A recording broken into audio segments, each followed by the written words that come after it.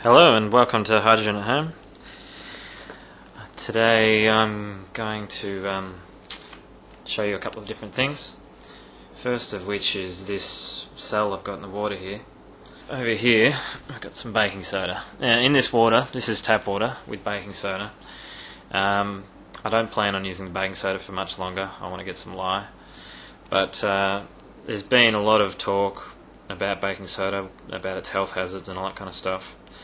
Um, I think you just need to be, you know, just know the facts and know that there's a chance that it might not be the best for you and, and make your own decision. Um, for me, at the amperage that I've been running these tests and for the, the amount of time that I've been running them for, um, I'm not too fast. If I was doing it more than, say, 15 amps and running them for longer periods of time, then I'd be doing it outside. Um, another thing to, you know, think about is, I mean, even on the box itself, it's got a list here of the different things you can do with it, uh, stuff you can do with it at home for your family, and down the bottom even it's got for your body.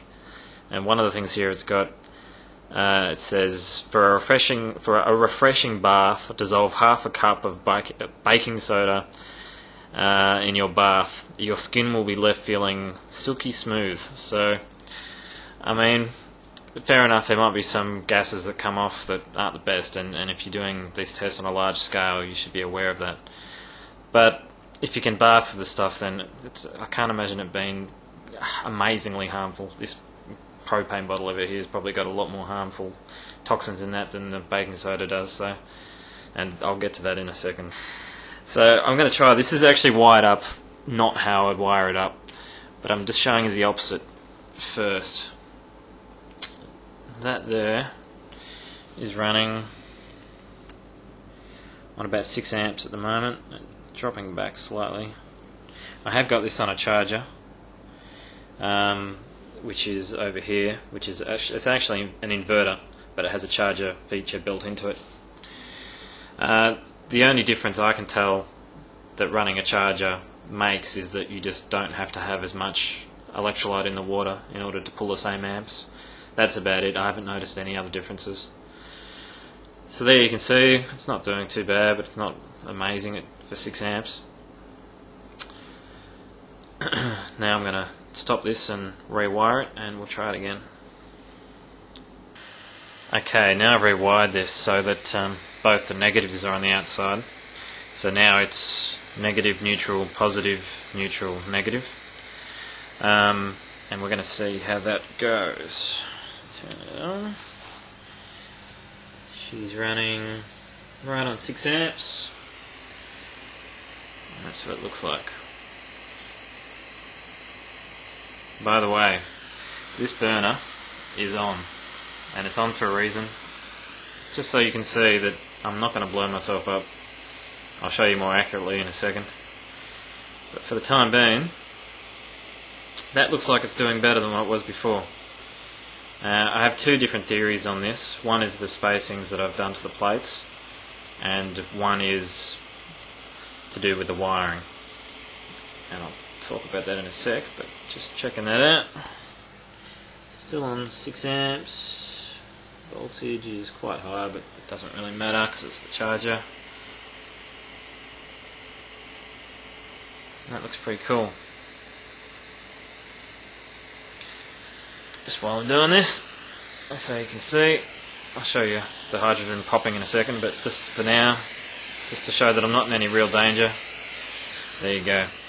Hydrogen has the fastest flash point of any other fuel that we know of, uh, and it also has the highest uh, rate of evaporation or dissipation, whatever you want to call it, of um, pretty much any gas as well. Just cranking up the amps just so that we can see what it's capable of since I ran the other tests at higher amps. That now is right on, say, 8 amps. And that's doing pretty well. I'm going to show you this again. If I had this in a sealed container, you would need to be very, very careful. And if I was going more than, say, 15 amps, I would be doing this outside. But with this nice big open container, I'm not too concerned about explosions. especially with the set the fan on and not for running. I'm not running these tests for too long. I'm not running them for any longer than two or three minutes at a time. Okay, it's creeping up. It's on 9 amps now. Can't see the plate at all anymore. I'm going to show you this more closely now, just to show that there is actually hydrogen coming off here. See the colour of the flame changing. You probably hear the pops going off there.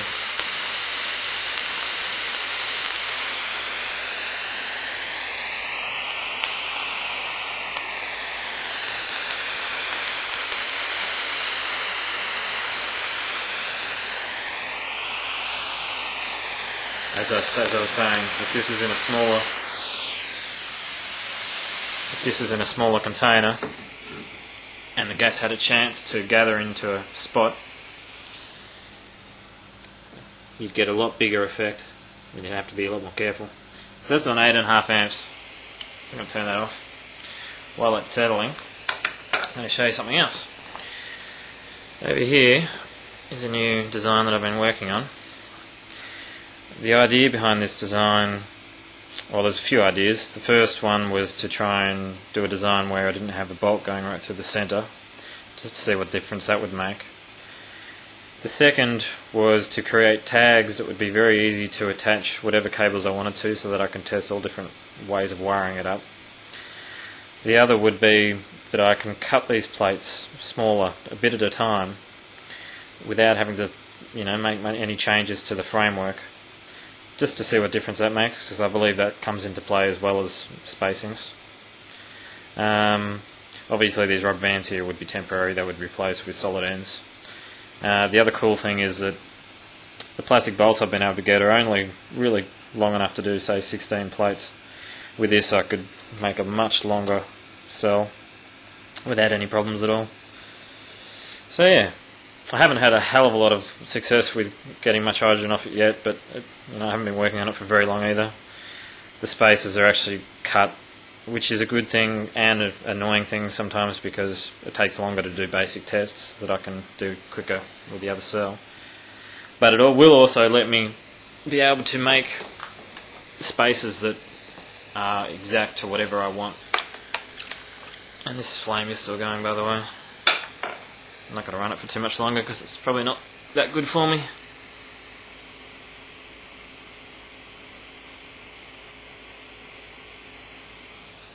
So, so that's sitting right on 10 amps at the moment. Getting a pretty good reaction, especially considering the size of the plate. Um, I know a lot of you have probably been watching um, John Aaron's videos lately with his success that he's been having with his very small plate. I haven't had much luck replicating that yet, but what I'm doing here, I think, is along those lines. So yeah, there you go, it's 10 amps. I'll turn this off. Turn that off. I'll pull the cell out. The gaps on this are, are, are different. Now the two theories I have about why I'm getting better results out of it this way. The first is, the wiring. That um, is, I believe, because most of the hydrogen comes off the neutral plate. Uh, and in this particular arrangement with these cells, there is only one positive and two negatives, whereas the other way there's only the one negative. So that could be one reason. The other reason, uh, with to do with these spaces, that I was thinking of was that obviously the hydrogen bubbles are finer which means they only need a smaller amount of space to escape from the plate, whereas the oxygen bubbles are bigger.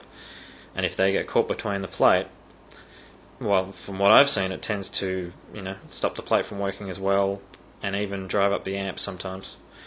So what I've done here is where the neutral connection is, I've got those plates closer together, and then when the positive plate is, I've got those spaces further apart. So yeah, it's a theory, and um, so far it actually seems to be working better this way. So I'm going to explore this a bit further and see what happens. Until then, I'll catch you later.